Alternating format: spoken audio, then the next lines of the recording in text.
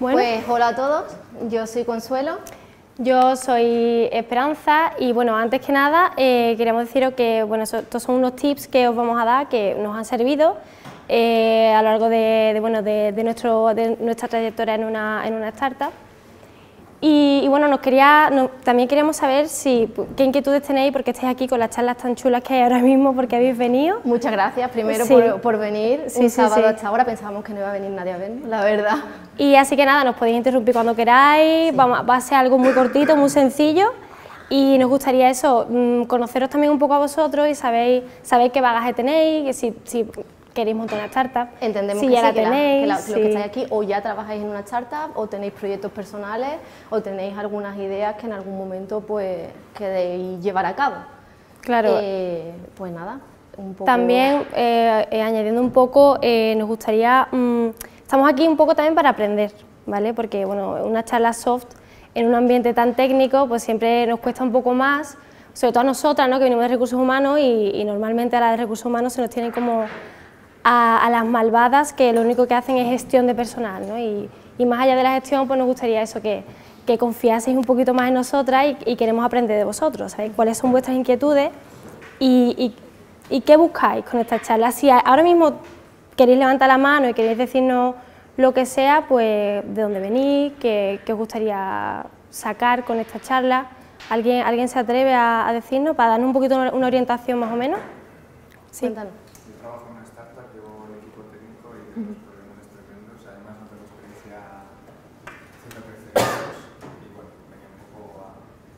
Eh, ¿Tenéis personal de recursos humanos o lo llevas todo tú el tema de contratación, de entrevistas? En estado inicial todavía la startup, ¿no? Tenemos eh, agencias que nos ayudan con la captación de Externa. Vale. vale. Pues entonces creo que, que, te vamos a intentar ayudar un Por lo menos un poquito, ¿vale? Así que bueno, ella es Consuelo, yo soy Esperanza y, y, empezamos. Eh, perdonadme la voz, pero somos de Sevilla y Madrid ha podido conmigo. este, este, frío me ha matado y soy malísima, la verdad.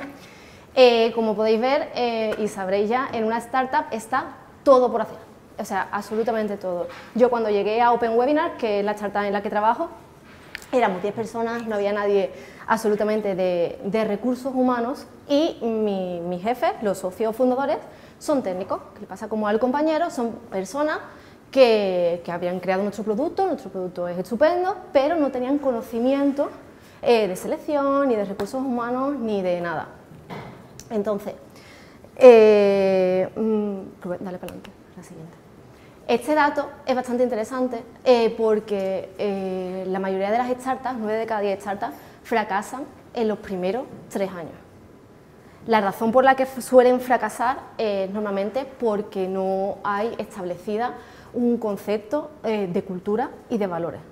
Lo primero que tenemos que hacer, y yo no sé exactamente si tu, empresa ha establecido esa clase de sistema, pero lo primero que hay que hacer a la hora de, de crear equipo, de crear eh, eh, la gente que nos va a acompañar eh, en nuestra startup es crear la cultura. ¿Qué entendemos por, por cultura?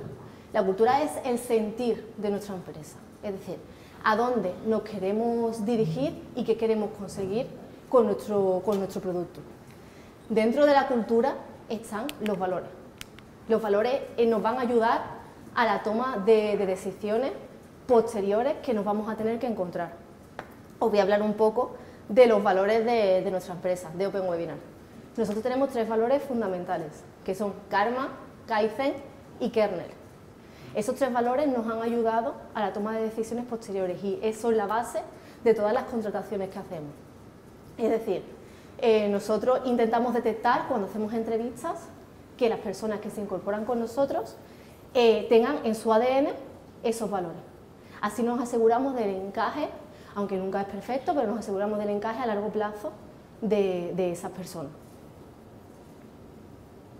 Un momento que tengo un montón de anotaciones y no me quiero dejar nada.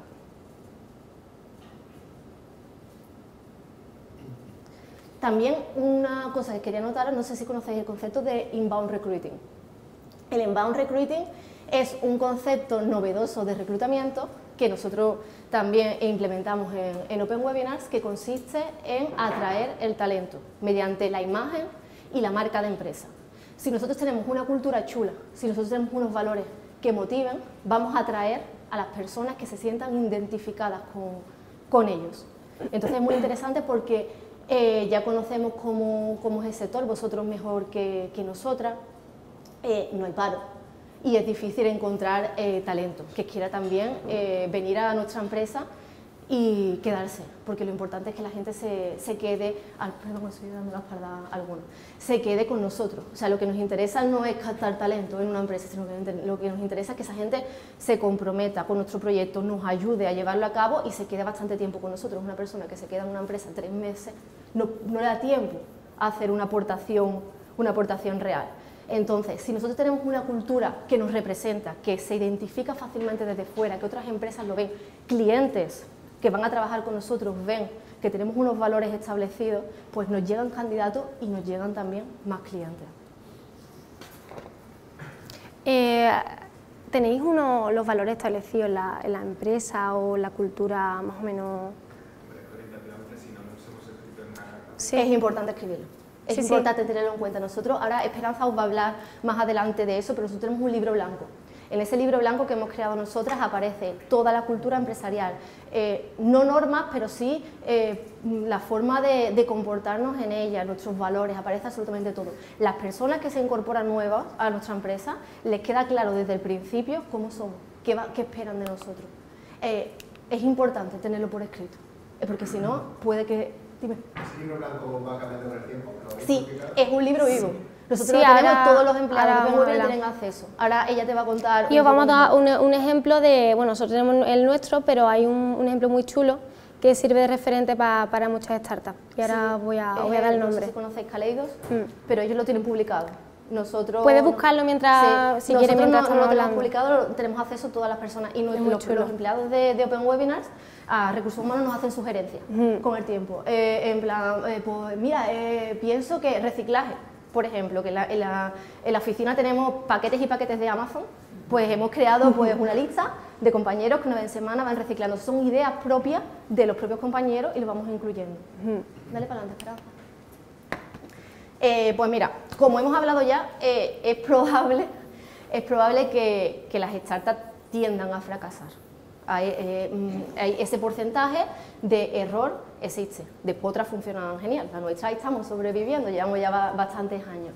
Entonces, lo que quiere una startup, ¿qué quiere conseguir una startup? Pues al fin y al cabo es sobrevivir. Sobrevivir en un mercado en el que hay mucha, mucha gente buena y mucha gente con muchas ideas. Si vosotros vais a formar vuestra startup, eh, el foco es ese eh, manteneros. Al principio eh, quizás tendréis pérdidas, como hablaba yo ya con el compañero, pero es continuar y, ir avanzando. Aquí os hablo del método NI. ¿Qué es el método NI? El método NI básicamente me lo he inventado yo, No lo he sacado de ningún sitio. Pero creo que es interesante, ya que mi, mi misión en realidad con esta charla es que si vosotros queréis montar vuestra startup y no tenéis conocimiento de recursos humanos, no tenéis conocimiento de selección. Y al principio, pues el problema básico de una startup es que no hay dinero, no tenéis dinero para contratar a alguien de recursos humanos, daros pequeñas claves que os puedan servir para ese estado inicial en el que tenéis que aumentar eh, la plantilla. ¿Qué es lo primero que hay que hacer? Lo primero que hay que hacer es determinar las necesidades, sobre todo las necesidades de contratación. Es decir, ¿Qué es lo primero que tenemos que ver? Yo creo que es de lógica que eh, las primeras personas que tienen que entrar en una empresa son las que dan sustento a nuestro producto. O sea, el producto de nuestra empresa es lo que nos da de comer. Entonces, eh, es importante que las personas que se vayan a encargar de ese producto sean las primeras que entren en la empresa. Y en ese estado, pues probablemente los propios fundadores técnicos son los que tengan que, ponerse a ello. Una vez que tenemos establecidas las necesidades, dame un segundo porque no quiero que se me olvide nada. Una vez que tenemos establecidas las necesidades, tenemos que ver qué presupuesto, como aparece ahí, es el que tenemos para esas contrataciones. Este punto es muy importante y yo después, al final de mi charla, os doy unos errores que hemos cometido porque nos ha pasado de todo, evidentemente, en todo este tiempo, para que nos pasen a nosotros. Pero establecer el presupuesto que tenemos para esas contrataciones es muy importante. ¿Vale? Eh, establecer, por ejemplo, es muy importante el equipo de ventas. Una vez que estamos empezando nuestra startup, tenemos la gente que genera nuestro producto, pero también tenemos las personas que tienen que comercializarlo. Evidentemente, eso se tiene que vender. Pues esos son los primeros perfiles que tienen que entrar en nuestra empresa. Y, son difíciles de, encontrar. Eh, después, evidentemente, esto es muy importante. Yo soy muy pesada con esto, pero es que, ya os digo, yo la opinión que doy y, lo que vamos a contaros aquí está basado en ensayo-error. Está basado en cosas que nos ha pasado y es todo, es todo real. El encaje en valores es fundamental. Las primeras personas que entran en vuestra empresa son las personas que os van a ayudar a remar vuestro proyecto para adelante. Son las personas que os van a acompañar y van a trabajar codo con codo con vosotros. Son muy importantes. No tienen que ser personas elegidas rápidamente. Entonces, el encaje con vuestros valores de vuestra empresa, con vuestros principios que habéis establecido desde, eh, el inicio, son muy importantes. Aquí os hablo de, la entrevista, os pongo TNT porque las divido en, dos. Tenemos las entrevistas técnicas y las entrevistas no técnicas. Eh, las entrevistas técnicas, evidentemente, si vuestro producto es un software, es muy importante las entrevistas técnicas. Eso mm, vosotros, la mayoría seréis informáticos, lo podéis hacer vosotros, no necesitáis a nadie externo que, que os lo haga. Pero yo voy ahí a las entrevistas no técnicas. Las entrevistas no técnicas son las entrevistas por competencia. Son las entrevistas que van a determinar que esas personas que técnicamente sean fantásticas eh, encajen también con el día a día de nuestra empresa, con el sentir de, nuestra empresa. ¿Qué es lo más importante en una entrevista no técnica o por competencia? La objetividad. La objetividad, después os, hablo un poco de, errores también que nos han ocurrido al respecto, pero la objetividad es la clave. Hay una tendencia que, se tiene un poco, nos ha pasado, hemos, ido hemos conocido personas que, nos han contado historias parecidas, que es la, intuición. En recursos humanos y en selección existe la llamada intuición. Es decir, ¿por qué has contratado a esa persona? No, es que me ha caído bien. Eso no puede ser así.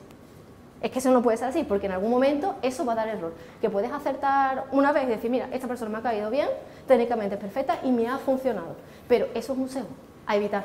Las entrevistas tienen que ser objetivas. ¿Cómo generamos objetividad en una entrevista que de por sí vamos a averiguar características que suelen ser subjetivas? Si tú le eh, no sé si conoces el concepto de deshabilidad social, que se da mucho en psicología. Es la tendencia a mostrarnos ante la gente como buenos, perfectos, es decir, a caer bien si tú le preguntas a alguien, por ejemplo, imaginaos que necesitamos para un puesto una persona empática. ¿Cómo averiguo que alguien es empático?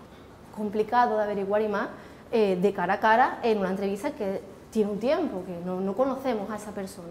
Si nosotros nos sentamos delante de alguien o de alguno de vosotros, yo me siento delante y os digo, ¿eres empático? Y yo soy una entrevistadora, ¿te interesa el puesto? Tú vas a decir, sí, sí, sí, yo soy fantástico. Yo soy, vamos, yo salvo gatitos, yo adopto perritos es cierto, no me están mintiendo, evidentemente.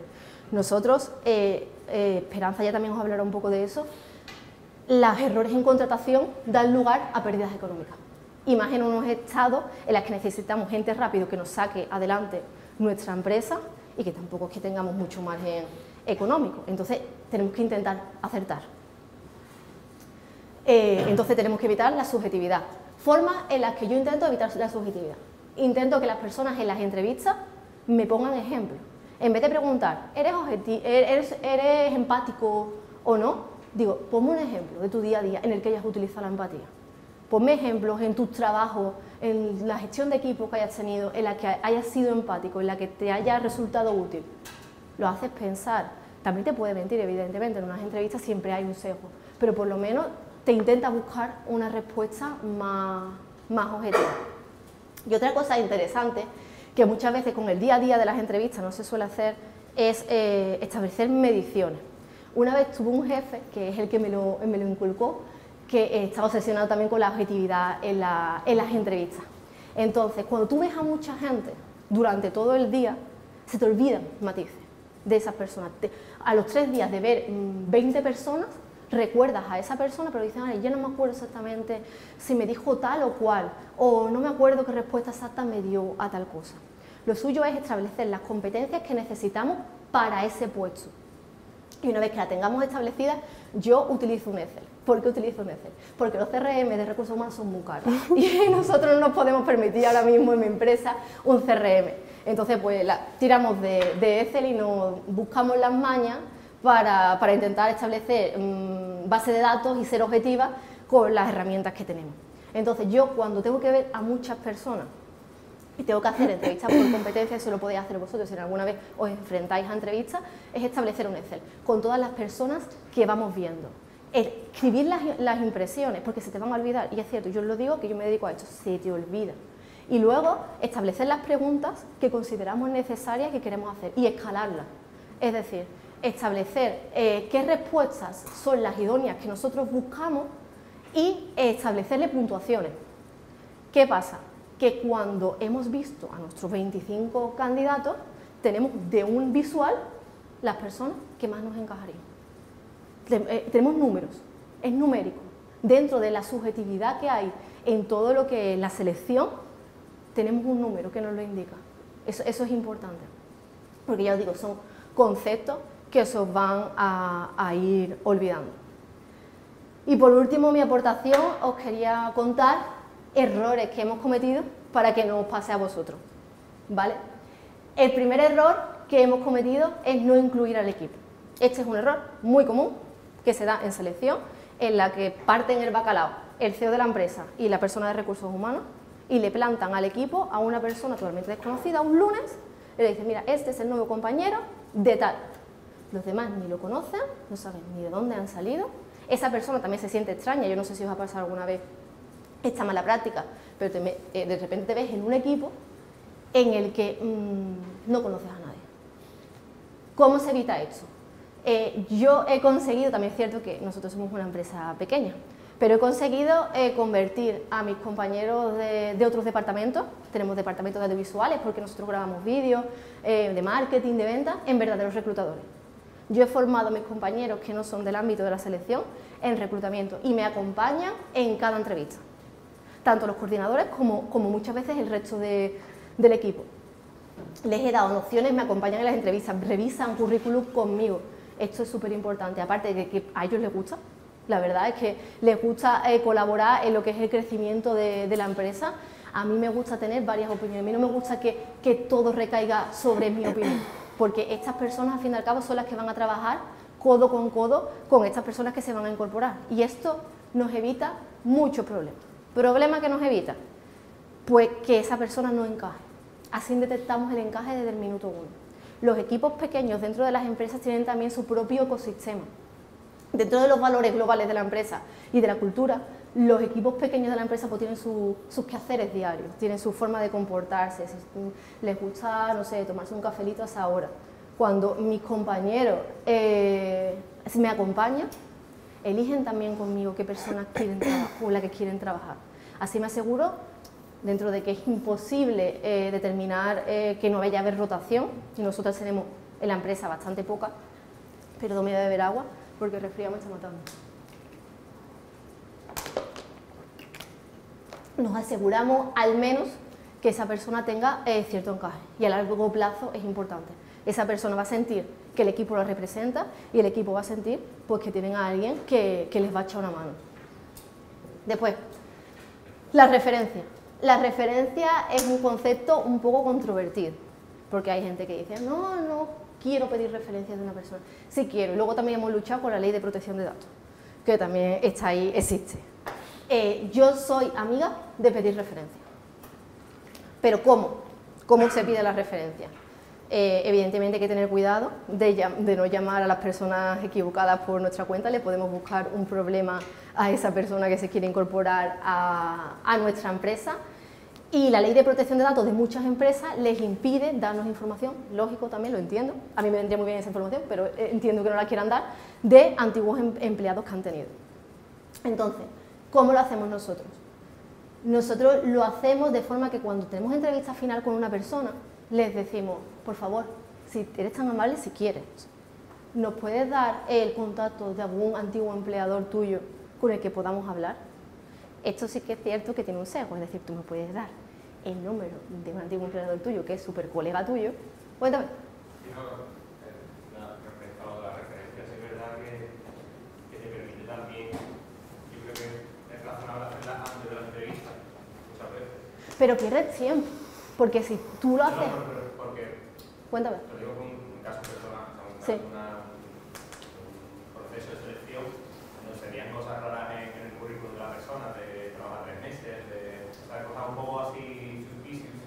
Se buscaron referencias para corroborar. Esa Para- idea inicial que tú no tenías. Vale. Entonces, cuando tienes la referencia, luego preguntas, le preguntas al, candidato, le preguntas sobre eso, puedes corroborar si la referencia Es real, ¿no? que te está diciendo Pues sí. Claro, pero también, Pues tenemos, sí. también hay que tener cuidado con eso porque si tú le preguntas primero a, a un empleador anterior y te da una referencia que porque no son muy positivas, tú vas a ir con cierto prejuicio. Entonces tú vas a estar entrevistándole con cierto prejuicio y aunque te conteste y te diga y te resuelva todas las dudas, tú te vas a quedar quizá, quizá con la primera impresión que te dio. Claro, bueno, hay, hay que tener en cuenta que esa referencia que se pidió era, era, o sea, era, era colega, digamos, era conocido. ¿no? Vale, vale. Pues,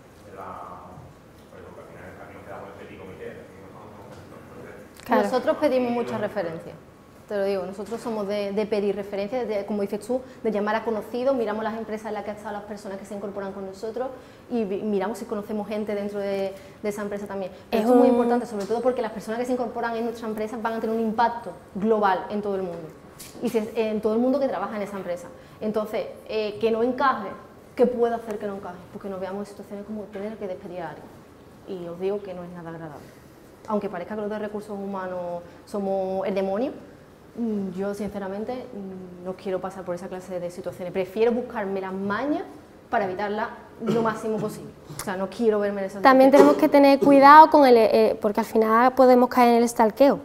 Una cosa es pedir referencias y ver un poquito cómo se mueve, pero también se puede dar el, el caso de te metes en redes sociales, ves cómo se comporta la persona en su vida privada y aquí hay mucha, mu- mucha opinión dividida y lo entiendo. Pero tenemos que tener cuidado porque eso también puede, puede causar prejuicios. Son sesgos, al fin y al cabo. Esto que os estoy contando yo no es una matemática pura. Os estoy contando pequeños tips que podéis también aplicaros en el orden que vosotros consideréis.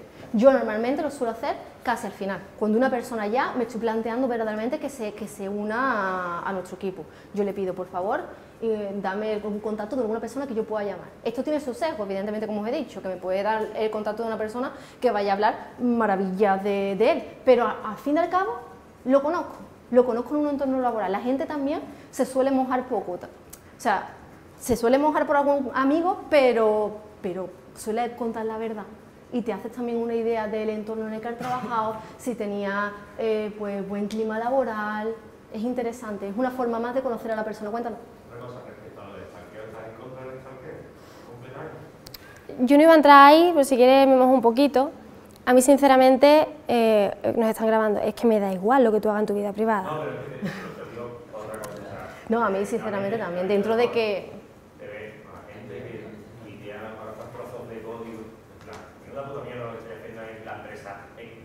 Entonces, si tú ves ese que dice, yo por ejemplo mis redes sociales las tengo muy orientadas a lo laboral y a lo, a lo del desarrollo, si tú ves ese tipo de stalkeo, dices, joder, en el momento de que esta persona es mi oficina, ¿qué pasa?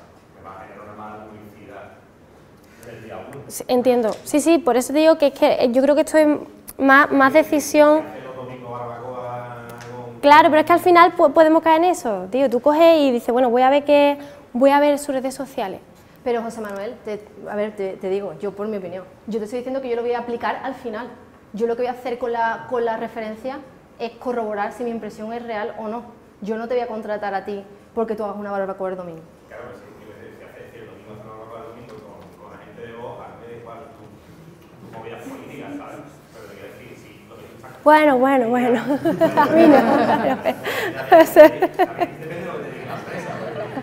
Claro. Estás tratando de distancia con Podemos, no vamos a dar que Entonces, pero sí es verdad que muchas veces y por la gente que conozco, orientamos mucho a lo profesional y hay gente que dice unas cosas que te dicen, no, mía, yo me necesito la empresa. Sí, sí, esto, eso, esto da eso para es otra charla, totalmente pero sí que es cierto que no, podemos perder el foco de que una entrevista es una venta de nuestra persona. Cuando nosotros hacemos una entrevista, lo estamos vendiendo como trabajador. Ya cada uno elige también la imagen que da en redes sociales o no, y si le- eso le va a perjudicar o no Claro. a nivel laboral. Eh, bueno, íbamos por Eh, de las referencias, ¿cuánto tiempo desde que esa persona te dice, bueno, pues puedes preguntar a esta persona? Yo llamaría al minuto siguiente. Yo lo suelo llamar rápido. sí. Al ves que están preparados y que tienen un guion casi lo que tienen que contar. Sí. Yo suelo llamar rápido, pero yo te digo, yo soy consciente del seco que genera eso. Yo simplemente quiero hablar con alguien de tu entorno que me cuente cómo eres. Que me va a contar maravillas tuyas, vale, pero quiero saberlo. Quiero que alguien se moje. Quiero que alguien me diga. Y además yo pregunto bastante, porque yo soy muy preguntona, sinceramente. Cuéntame. ¿Y referencias por escrito? Porque en empresa internacional que he trabajado, me para dar Sí. Maravilloso. Si alguien me da cartas de recomendación, eh, referencias por escrito, yo las tengo muy, en cuenta. Hmm. La verdad, que tenemos casos que, la, lo suelo pedir también estas porque hay gente que no las tiene. ¿Sabes? Pero eso, eso, es muy importante. Y yo, sinceramente, si tenéis la oportunidad de pedirles a alguien referencias o cartas de recomendación, es algo bastante, bastante bueno. Hmm. ¿Vale? ¿Alguna duda más de las referencias? Eh, pregunta, sí. Ahorita que se utiliza mucho ¿hay referencias también en LinkedIn? Sí. Yo las miro también. Yo, yo, lo miro todo. Pero yo lo miro todo porque ten en cuenta que nuestra empresa es pequeña. Entonces, si entra una persona dentro, ya os digo, va a generar un impacto grande dentro de la empresa. Yo suelo investigar bastante, pero dentro de lo positivo. Investigo bastante a las personas que se van a, a incorporar con nosotros. Por ejemplo, Esperanza la contraté yo y la investigué bastante. Sí, salió muy bien, pero la investigué. ¿Alguna más? ¿Preguntita? Listo, ¿no? Pues otra otro error que hemos cometido, priorizar lo técnico. Este es un error muy común que se, da dentro del sector IT. ¿Por qué? Porque no hay gente, mm, hay más demanda que personas que quieran trabajar. Entonces, cuando yo he tenido que incorporar a algún compañero técnico a la empresa, han sido procesos de selección muy largos y muy tediosos. Entonces, ¿qué pasa? Que cuando encuentras a alguien técnicamente perfecto, lo quieres contratar dices tú, oh, me lo quedo. Y encima me encaja en salario, me lo va a quitar otra empresa, me lo tengo que quedar. Ahí es el momento en el que tenemos que sentarnos a pensar. Si el proceso de selección se alarga, se alargó. Pero si nosotros incorporamos una persona a nuestra empresa que no encaje con nuestros valores y con nuestros principios, más tarde, más temprano, va a salir mal. Eso es como las relaciones de pareja. Que si empiezas a salir con alguien que tú ves que no encaja contigo, por mucho que te guste y sea muy guapa, más tarde, más temprano va a salir mal. Pues esto, esto es igual más tarde o más temprano va a haber problemas en el equipo, el equipo te va a dar quejas y esa propia persona, porque tú cuando trabajas en una empresa tú también quieres encajar con los valores propios de ella, tú te quieres sentir identificado, tú quieres también luchar por un trabajo en el que tú creas que lo que estás haciendo sirve de, de algo. Entonces el encaje de valores tiene que ser bidireccional. Si no hay ese encaje, por muy bueno técnicamente que tú seas, tú te vas a querer ir porque quizás no te sientas que ese es tu lugar y la empresa pues tampoco va a estar contento contigo. Entonces, ¿qué tenemos que hacer en ese momento? Pues yo con todo el dolor de mi corazón, si encuentro a alguien técnicamente que no encaja con lo que nosotros queremos, pues tengo, que buscar a otra persona. ¿Eso qué va a hacer? Porque el proceso de selección se alarga hasta la muerte, pero mm, eh, es lo que hay. Ya como he dicho antes, en unos estados iniciales de nuestra propia empresa, eh, errores en contratación cuestan dinero que no tenemos. Errores en contratación cuestan tiempo que puede que, tampoco tenemos. Es mejor afinar. Y por último, el presupuestos otra vez a lo opuesto, porque este es el último error que se nos ha dado. Esto está actualizado a, día de hoy. Este último error es un error bastante importante que se suele dar en las startups. Eh, el dinero suele ser un problema en un estado inicial. Entonces es muy importante establecer el presupuesto que tenemos para dedicarlo a las contrataciones. ¿Por qué? Porque nosotros estamos sujetos a clientes y pueden ocurrir cosas. Puede ocurrir que clientes se caigan que eran importantes, eh, previsiones de dinero que pensábamos que, tenía, que teníamos no las tenemos ya, entonces ¿qué pasa? Que si nosotros no nos establecemos un presupuesto real de contrataciones que podamos asumir, vamos a contratar gente que no nos podamos permitir en ese momento. ¿Y qué pasa con eso? Porque no le vamos a poder pagar. ¿Y qué pasa con eso? pues que lo vamos a tener que despedir. Y eso es un problema. Evidentemente, para mí al menos, como yo intento llevar el Departamento de Recursos Humanos, yo intento medirlo todo al milímetro para no tener que prescindir de nadie, porque las personas, cada uno, como sabéis todo, sabéis todo en el mundo laboral, os habrá pasado también absolutamente de todo, traerte una, a una persona de una empresa, por ejemplo, que era indefinido, tiene su puesto, en una empresa, traernos de una, de una empresa para, para tener que despedir, porque no nos lo podemos permitir, es un problema para esa persona. Y yo a nivel, uno de nuestros valores karma, yo a nivel de buen karma, yo intento evitar cualquier daño que pueda ocurrirle a cualquier persona que, que se incorpore con nosotros. Entonces la clave es prevenir. Y le toca a Esperanza que me he enrollado un montón. me han puesto un cartel de 15 minutos. Hija de tu madre. Da igual, de todas formas esto era súper clave, ¿vale? Así que bueno. Y nada, welcome to the jungle. Em, hemos pasado de, de, detectar necesidades, de proceso de selección, eh, presupuesto y tal, y ya la persona se, se incorpora con nosotros, ¿vale? Eh, yo voy a dar cuatro claves, van a ser muy escuetas, ¿vale? Porque al final son claves que después podéis investigar perfectamente en internet. Es cierto que de la teoría a la práctica pues hay un trecho, pero al fin y al cabo podéis, podéis Una encontrarlo. Cosa que quería deciros es que si en algún momento eh, nos podéis buscar por, por, LinkedIn y tal, necesitáis, tenéis dudas, necesitáis ejemplo de onboarding, ejemplo de entrevista o lo que sea, contactad con nosotras que yo tengo un montón de documentación y estoy disponible para echar una mano a, al que lo necesite. El onboarding, todos conocemos el concepto de onboarding, ciertamente. Pues muchas veces se, se confunde con, con, la orientación o con una inducción. El onboarding, eh, bueno, antes de adelantarme, vamos a ver estas cuatro claves. Onboarding, libro blanco, gestión del conflicto y offboarding. Onboarding, pertenencia y continuidad. La primera impresión cuenta mucho. Hemos pasado del Candidate Experience al Employee Experience. Eh, cuando hablamos de Candidate Experience, hablamos de la experiencia del candidato desde que se abre el proceso de selección. Porque desde que se abre ese proceso, ya la persona está experimentando eh, ciertas cierta emociones, sentimientos, con, conforme va, va, avanzando el proceso. ¿no? Y bueno, no hemos metido mucho, no, no, voy a meter más del Candidate Experience porque eso da para pa otra charla, que ayer de hecho estuvimos en la Fishbowl y estuvimos hablando un poquito del Candidate Experience Como y la verdad es que candidato sí, durante el proceso, eso también dice mucho de, de claro, la empresa. esa es la imagen de, de, la, de, la, empresa al fin y al cabo, que, que es que es real. Eh, yo no te puedo vender la empresa, eh, vamos, no voy a entrar, porque es que me encanta hablar de esto y no, no, no, no me da tiempo. Eh, del Candidate Experience al Employee Experience, vale, el onboarding como os decía, se confunde muchas veces con el, un proceso de inducción o un proceso de, orientación. El onboarding no es un documento que yo te presento y te digo, mira, esta es la empresa, te vas a sentar aquí y tal. En parte, sí que te voy a decir, esta, este es tu pupitre, o sea, esta es tu, mesa, te vas a comunicar, estos son tus compañeros, eh, vas a reportar a tal persona y tal. El onboarding, eh, más allá de decir cuál es tu rol, tus tareas y, que comprendas la misión de negocio, la misión de negocio ¿Qué pasa? Ah, ¿me pongo aquí? Vale, es que no entiendo lo de, esto. Eh, vale. Más allá eh, de decirte cuál es eso, tu misión de, del puesto, tus funciones y tus tareas, se trata de, que durante un proceso de 90 días, que es el máximo que te permite la ley para, para hacer un, contrato de, o sea, del el tiempo de, de, prueba, del periodo de prueba, pues es eso, un proceso en el que la persona va a ir em, adaptándose a la empresa ¿vale? y a la misión de la misma. ¿Cuáles son los beneficios del onboarding? Como os decía, además de, de, la claridad en el rol, vamos a detectar la satisfacción en el puesto que la persona desempeña. Después de los 90 días, yo no te, le puedo decir a una persona en la semana 1 si está contento con su puesto porque realmente no le ha dado tiempo de hacerse con, con, su puesto, ni siquiera de conocer a los compañeros ni, ni, de, ni del día a día. ¿no?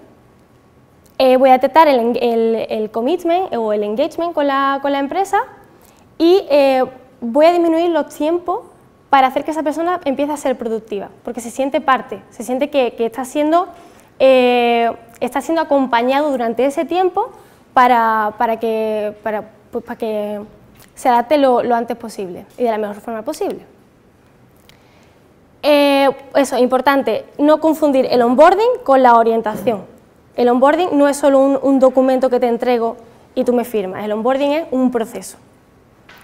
Libro blanco, como hablábamos antes, el libro blanco de, de Caleidos es un referente para startups y como decía antes Consuelo, el libro blanco, eh, blanco dice quiénes somos, eh, cómo somos como empresa, nuestra misión, visión, valores.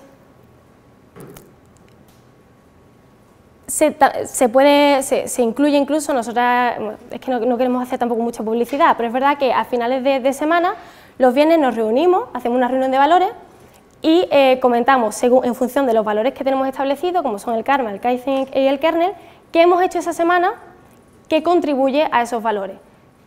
Kaizen, eh, palabra japonesa que significa mejora continua, como conocería porque ahora está muy de moda el, Kaizen, ciertamente. Eh, yo te voy a decir qué, he hecho esta semana, qué he aprendido esta semana, que pueda contribuir a mi puesto de trabajo y por ende al, global de la empresa. Pero el libro blanco no es tampoco un documento, no tiene por qué ser así. Puede ser una wiki, pues es un sitio participativo, donde eh, la empresa se democratiza y se rompen barreras jerárquicas. Siempre, siempre intentar de verdad que la empresa no, que, una startup no empiece, cuando eh, eh, empieza a rodar, que no pase de ser un ambiente súper chachi a un, a un, ambiente en el que hay una jerarquía súper establecida y súper férrea. Eh, entonces, en este espacio de participación, la gente se empodera y se siente realmente que forma parte de eso. Entonces, en una wiki, por ejemplo, podemos establecer ese libro blanco que puede renovarse y, de hecho, debe renovarse de año en año. No, que no quede establecido. Si en 2019 tenemos un libro blanco, en 2020 podemos tener un libro blanco nuevo. Y bueno, dejar claro que por mucho que queramos eh, cumplir las expectativas de todas las personas que se incorporan a la empresa, eh, la cultura y los valores están por encima de los individuos en sí. ¿vale? Esto es, un concepto global. Eh, prevalece siempre el, bien general al particular. Por lo tanto, si esa persona en un principio encajaba, pero llega un momento en el que ya no lo hace, tenemos que prescindir de ella. Y es así, hay que soltar y dejar ir. A nadie le gusta, pero ese momento inevitablemente llega muchas veces. La gestión del conflicto. Eh, supongo que algunos de vosotros y vosotras os habéis enamorado en algún momento de vuestra vida. Si no lo habéis hecho, en algún momento os va a ocurrir. Eh, pero hay estudios que dicen que a los seis meses mm, el amor se acaba. Al principio, el cóctel del amor, la norepinefrina, la serotonina, la dopamina, hacen que veamos a la persona que tenemos enfrente, que nos gusta mucho, que la veamos perfecta el cutis perfecto, una sonrisa perfecta, la carcajada magnífica y tal es así que nos vamos a vivir con esa persona a los dos meses. Y ya al tercer, cuarto, quinto mes, todo magnífico, y al sexto mes estoy acostada en la cama y empiezo a escuchar como ronca. Joder, mm, roncaba antes, o empiezo a roncar hoy, que la va a estar más gordo, ¿qué ha pasado? ¿Qué ha pasado? Em, y resulta que lo que antes era perfecto ya empieza a no serlo tanto. Y lejos de coger y decir, hasta luego me voy y dejarlo solo en casa, pues se presenta una oportunidad de aprendizaje, de Kaizen. Em, ¿Y por qué, por qué estaba diciendo yo esto? Eh, porque en, lo laboral pasa exactamente lo mismo. Al principio, cuando una persona se incorpora, todo es nuevo, todo es magnífico y queremos, eh, somos esponja y queremos aprenderlo todo. No hay una, eh, la necesidad básica, la primera necesidad que era la de, ser contratado ya está cubierta. Entonces yo quiero ser productivo lo antes posible, quiero aportar. Pero cuando pasa un tiempo se generan nuevas necesidades y eso es una oportunidad para, una muy buena oportunidad para gestionarla. Entonces el conflicto de nuevo entendido como algo positivo, nunca como algo negativo. Eh, ¿Cómo gestionamos el conflicto? Pues a través del feedback. Se habla muchísimo del feedback pero normalmente el feedback se, toma como algo unidireccional. Es el empleador, es tu, es tu CEO, es tu manager quien te dice, has hecho esto mal, tienes que hacerlo bien. No has cumplido con, los objetivos del trimestre y tienes que, tienes que conseguirlo, sea como sea. Pues más allá de, eso, de, una comunicación unidireccional, debería ser bidireccional. Es un espacio de encuentro entre las dos personas para ver qué expectativas, o sea, qué, objetivos se han cumplido, cuáles no, qué expectativas he cumplido y cuáles no, y cuáles son las áreas de mejora. Detectar las áreas de mejora y marcar objetivos eh, a corto plazo. Se suelen hacer en tres meses, en seis meses, ya en función de, lo que vosotros vayáis viendo. Eh, eh, esta one-to-one debería, debería ser para resolver un conflicto, pero no para mitigarlo. No para decirte no te preocupes, no te preocupes, todo está bien, sino realmente que cuando esas dos personas entran y se encuentran, salgan limpios, de verdad, con todo, con todo resuelto. Y se puede hacer, sinceramente se puede hacer. No debe sentirse evaluada y juzgada. un feedback o una one-to-one no tiene que ser una evaluación del desempeño eh, encubierta. No, no sirve, porque al tiempo todo se descubre. Y por supuesto el lenguaje positivo. Si yo te digo que eh, tu performance eh, ha sido buena, pero, siempre, al final me voy a esperar siempre un pero. Si te digo que tu performance ha sido buena, sin embargo, aunque parezca una tontería, en el lenguaje está el cambio. Y si yo si, no, en vez de utilizar el pero, utilizo el sin embargo, la persona se lleva otra, otra, otra impresión de lo, que está, de lo que está ocurriendo. Y bueno, eh, el, maldito, el maldito offboarding, que muchas veces llega y es el, antagonista del onboarding, muchas veces llega y, y es así. ¿Qué pasa ahora? Pues si todo ha funcionado desde el principio, todo lo que hemos establecido ha funcionado desde el principio, hemos sido honestos, transparentes y todo se ha gestionado de una, manera positiva y realmente se han aprovechado todas esas oportunidades de aprendizaje, vamos a tener una last one-to-one, donde vamos a, evaluar de nuevo qué expectativas no hemos cumplido como empresa, cuáles sí, cuáles son de nuevo las áreas de mejora y si ha habido la confianza suficiente, me vas a decir por qué te vas. Y muchas veces decimos, me voy, me voy. Pero realmente, y la gente te lo dice, me voy. Y si yo no estoy a gusto aquí en la empresa y, todo esto se ha hecho bien, pero yo sigo sin estar a gusto, te lo va a decir. Y de, verdad que se aprende muchísimo, cuando una persona realmente se abre y te dice por qué eh, se va de la empresa. Y, bueno, eh, el offboarding y el good karma, como decía antes Consuelo, cuando una persona se va de la empresa, eh, o tanto si es baja voluntaria como si es por parte de la empresa, siempre que no haya sido por algo bestial, o sea, si la persona ha robado, si la persona tiene un conflicto, ¿vale? eso nunca nos ha ocurrido, o sea, que siempre partimos de que la relación eh, se ha roto, pero de, guay, nos llevamos bien, pues eh, esa persona, vamos a dar buenas referencias, hay plataformas para, para referrals, y la verdad es que está muy chula y funciona muy bien y a la gente le, sirve, le vamos a orientar eh, para que mejore su currículum, para, que, para enfrentarse de manera adecuada a una buena entrevista y vamos a intentar reubicarla, porque ya sabemos que en el, mundo startup todos nos conocemos y si yo sé que hay un hueco y yo sé que tú eres válido para ese hueco, yo voy a intentar eh, reubicarte. Eh, y ya por último, algo que, ha pasado muchas veces y que de verdad no puede pasar, es que si yo le voy a, a comunicar a una compañera o un compañero que está despedido, y le veo la, boca abierta, el jaw dropping, y, me, le digo, ¿qué te pasa? Y me dice, es que no me lo esperaba. O sea, un compañero tuyo no tiene que, cogerle de nueva que tú le digas, te despedimos. O sea, esa persona se lo tiene que esperar. Si del 1 al 10 yo te digo, ¿cuánto te esperabas este despido? Tú me dices un 2, un 3, un 4, en algo hemos fallado. Tenemos que volvernos a sentar y reevaluar todo lo que ya anteriormente habíamos establecido para ver en qué hemos fallado. Y realmente eh, sí funciona. Así que, bueno, ¿qué queríamos conseguir simplemente con esto? ¿Qué queremos conseguir con toda esta chapa que os hemos dado? Pues mira, queremos conseguir que os sea útil. Mi misión aquí no es otra que intentar echaros una mano. Como os digo, es sincera mi ofrecimiento. Eh, en LinkedIn aparece mi, correo electrónico si alguien quiere eh, ejemplos de entrevista, eh, mi opinión en algo, lo que sea, yo la puedo dar. no es que tenga la experiencia laboral más larga del mundo, pero me ha pasado de todo y me he pasado de todo en una startup y creando equipos desde cero. Entonces yo creo que, que podemos ser de bastante utilidad. Eh, que no perdáis el foco, he puesto aquí todas las cosas para que os lleváis una imagen visual eh, de todo esto que os hemos hablado. Establecer las necesidades, establecer qué necesidades de contratación tenéis, hacer entrevistas objetivas, por favor, establecer entrevistas objetivas, eh, evitar los errores que hemos cometido nosotras. Eh, hacer un buen eh, onboarding, que esa persona desde el minuto uno se sienta acogida en vuestra empresa, sé transparente en la forma de, informar a esa persona. Eh, un libro blanco, eso es una idea que nosotros hemos dado, pero que la verdad es que nos ha resultado útil.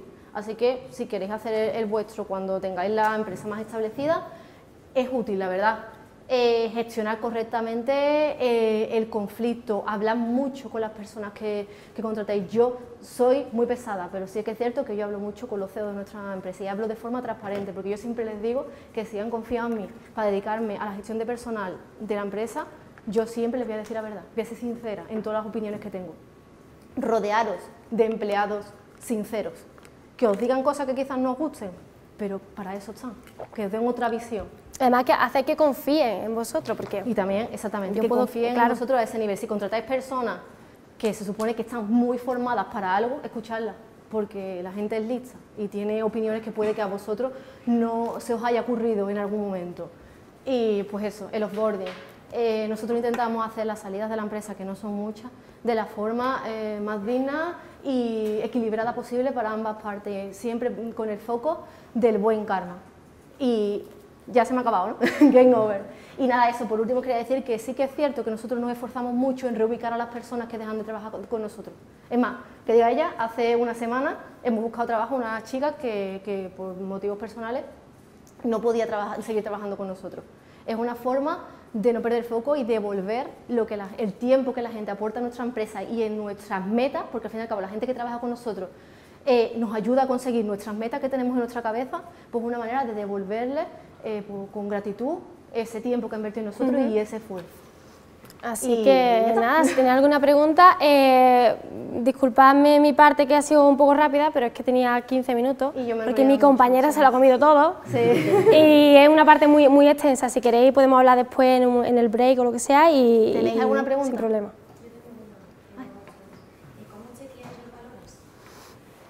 Eh, ¿Cómo chequeamos los valores? ¿Puede, ¿Puede ser más concreta? Con, con- eh, con comportamientos pasados se pueden predecir comportamientos futuros. Si yo te digo, si eh, el Kaizen, te digo, ¿cómo, cómo te formas? No es necesario que tú me, me digas, no, mira, yo estoy pagando un máster de 3.000 euros, pero si yo veo que tú te has descargado, o sea, que te has comprado un curso en curiosa. Udemy o simplemente que lees en, la, en no sé dónde, no sé qué, yo sé que tú, que, que es, ese, esa, esa ganas de aprender, ese aprendizaje continuo, pues que se da realmente, Y luego también haciendo muchas entrevistas. Decir, si una persona te gusta, entrevístala varias veces. Pregúntale, yo pregunto muchísimo, pregunto que me cuenten cosas de su vida, que me digan qué les gusta, independientemente de a nivel laboral. Intenta conocer de verdad a esa persona y obse- observa. Se- de verdad que se, que, se, que se aprende. Y luego, lo, como te ha dicho la, la compañera Esperanza, establecer, intentar de cosas que yo busco subjetivas, ver comportamiento objetivo. ¿Cómo resolviste un conflicto en la empresa en la que estabas antes? Eh, o como, no sé, ¿cómo resolviste un conflicto? ¿Y por qué salió bien? ¿no? ¿Cuál fue tu parte ahí? Y que esa persona te, te lo cuente. Obviamente te puede mentir, pero también para eso está la referencia. Es decir, es un poco eh, una amalgama de, de muchos conceptos y de muchos eh, pensamientos que tú puedes plasmar ahí, que puede que te sirvan más o menos, pero es verdad que con el ensayo y error se va afinando. Pero sí es cierto que los valores se suelen, se suelen Sí. ¿Estáis a favor de las pruebas técnicas de 4 o 5 horas de duración? ¿Cómo hacéis? Eh, esa, misma conversación la tuvimos ayer en un taller. Yo estoy a favor de evaluar técnicamente una persona porque al fin y al cabo, si mi producto es un software y esa persona me tiene que ayudar a desarrollarlo, tiene que saber cosas técnicas. A- al igual como mm, saliéndonos un poco de la informática, incluso en marketing, tiene que saber cosas técnicas. Yo tengo que saber el concepto técnico, lo que para mí no es determinante, para nada. Yo creo en las capacidades de la Pero sí es persona. cierto que una entrevista, o sea, una prueba, está la prueba técnica y la entrevista técnica. Una prueba técnica no debería ser determinante, por lo menos en una startup no debería serlo. Porque en la startup se, paga, se suele pagar por debajo del mercado, se suele con- contar con gente no, con un expertise no, muy, no tan elevado. Entonces, si yo le hago un- a un junior una prueba técnica y además, ¿quién hace la prueba técnica? ¿Quién la desarrolla? ¿Y quién la revisa? ¿Se hace una co-review, como estábamos hablando ayer, de esa, de esa prueba técnica? Claro, es que lo suyo es eh, revisar junto con la persona la prueba técnica, que te argumente las razones de por qué ha llegado Y en a concreto esa estaba conclusión, y preguntando- tan largas, evidentemente, también. Exacto, cuatro horas. Esa persona probablemente tenga un trabajo o, aunque sea su primer trabajo, si su primer trabajo está estudiando y le va a dedicar muchísimo tiempo a... A mí me parece un poco un insulto que una persona esté cuatro horas haciendo una, una prueba técnica. A, Y a- a mí me parece un Y insulto. cuatro aparte, que tú me hagas una prueba técnica de 10 no significa que yo te vaya a contratar.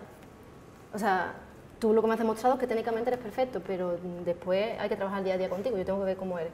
La prueba técnica da mucha información sobre la persona, pero para mí no es determinante, Mm. la verdad. ¿Te aclara la...? Y ahora, también lo que me respondéis, una segunda pregunta, ¿cómo habéis hablado de boarding, habéis hablado de cultura, de valores, cómo a- abordáis el proceso de formación continua dentro de vuestros... Vale. Nosotros somos una empresa de formación. si nos podéis buscar, somos Open Webinar, somos una empresa de formación. La formación va Mm. en nuestro ADN. Nosotros tenemos un presupuesto de formación para los compañeros. O sea, esta es la de la Fundae, la tripartita, y aparte tenemos unos, unos OKR de formación personales. Sí, son objetivos que lo marcamos. Sí. ¿Hacéis seguimiento? ¿Tenéis una metodología implantada? ¿Hay algunas obligaciones? ¿Es Vale, no hay, no hay una obligación per se, ¿vale? Pero sí que es verdad que tú me estás demostrando, si aprovechas ese presupuesto que no es muy elevado para formarte, yo voy a ver si sigues encajando con los valores, como el Kaizen, si un valor fundamental es la mejora continua, y tú estás aprovechando ese presupuesto para formarte, yo voy a ir corroborando que ese encaje sigue dándose. Nosotros dentro de que establecemos presupuestos para todo, porque el el dinero pues lo tenemos que, que medir un poco al milímetro, nosotros proporcionamos formación de todo tipo, aparte de nuestra plataforma y otra clase de curiosidades que tú sientas, pues de libros, de muchísimas cosas. Nosotros cuando trabajas en una startup te tienes que buscar las mañas para, para hacerlo todo al menor coste posible o intentando adaptar las cosas a, a lo que tenemos, tienes. tenemos los libros, a colación de eso, tenemos los libros viajeros, tenemos una biblioteca. Vamos, game over, ya, se acabó. Pues nada, si quieres cualquier cosa, me puedo tomar gracias.